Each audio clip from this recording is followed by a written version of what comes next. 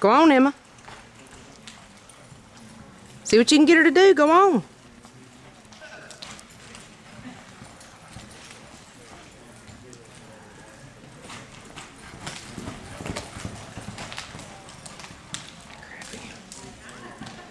Your time was